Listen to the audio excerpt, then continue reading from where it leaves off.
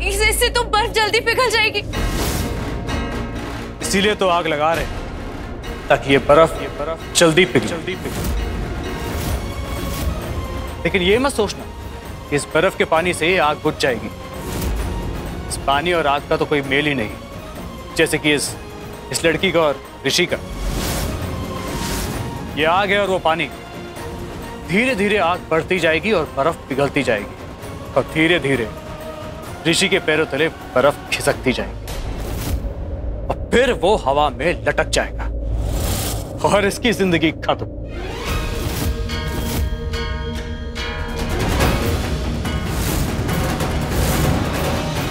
ये तो नहीं हो पाया, लेकिन इसकी आत्मा ज़रूर आज़ाद हो जाएगी।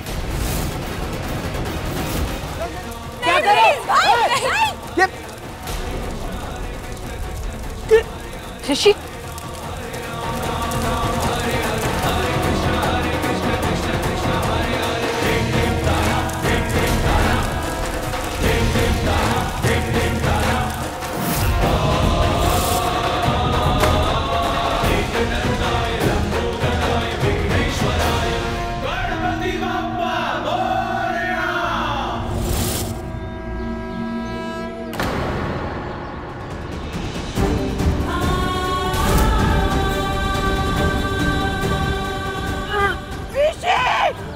नहीं दादी दादी।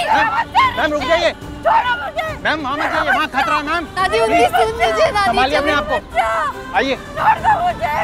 दादी नहीं प्लीज़ जाइए खुद को संभालिए मैम।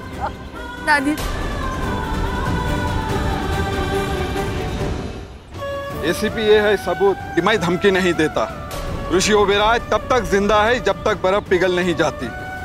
और बर्फ़ पिघलेगी जल्दी क्योंकि उसके लिए आग लगा रखी है। ज़्यादा समय नहीं तेरे पास।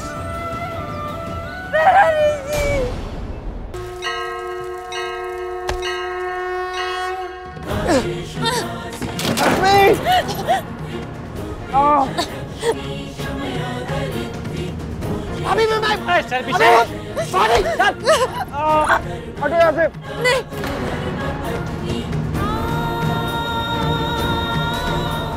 लक्ष्मी प्लीज़ प्लीज़ जाओ यहाँ से। तुम्हें मेरा वज़न बता रहा तुम्हें चोट लग जाएगी जाओ यहाँ से। नहीं मैं कहीं नहीं जाऊँगी तुम चुप रहो। अरे तुम चुप रहो।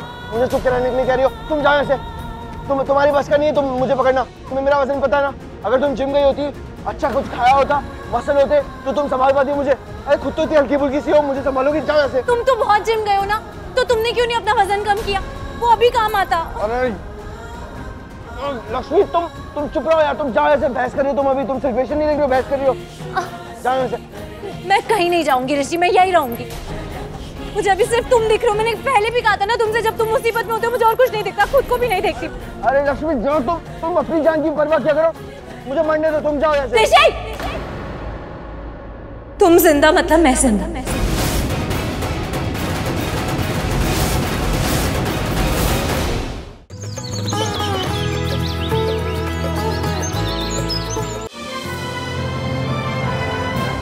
डाउनलोड कीजिए Z5 ऐप अभी और देखिए आपके पसंदीदा शोज़ कभी भी कहीं भी फ्री में।